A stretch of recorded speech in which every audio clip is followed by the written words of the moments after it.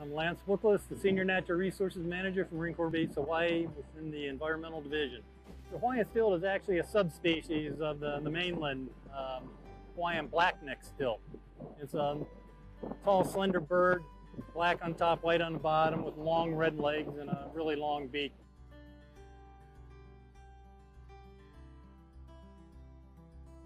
We estimate that we probably have roughly uh, 8 to 10 percent of the island's stilt population.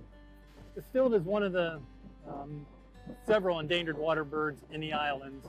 So the studies we need to actually, federal law requires us to actually manage and try to enhance or improve the population if possible.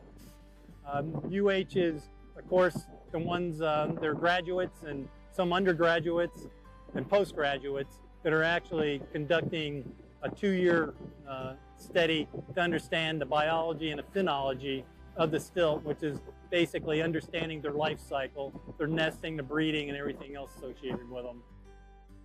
The, military supports us um, with what we call our mud ops, which is a yearly two-day uh, evolution utilizing the Combat Assault Company out of 3rd Marine, their AAVs, to help break up all the pickleweed mats uh, because that's what the stilt like to nest on. They want open mud flat or sandy areas to make their nest.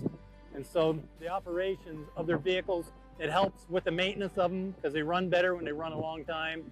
It helps with the young guys. A lot of times we ask them to use their, um, the more junior um, AAV operators so they can get some stick time and run around. There isn't too much out here they can damage, but we sit up there with them. We help um, guide them around. They get experience with different conditions from sand to mud to water. So it actually is a good uh, training opportunity, but the whole thing is a benefit the environment and our natural resources. So it's a win-win for both of us.